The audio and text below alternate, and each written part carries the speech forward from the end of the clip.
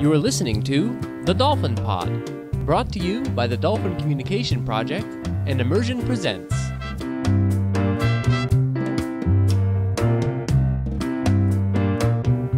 This week, we are bringing you a special video podcast edition of The Dolphin Pod, produced by John Anderson.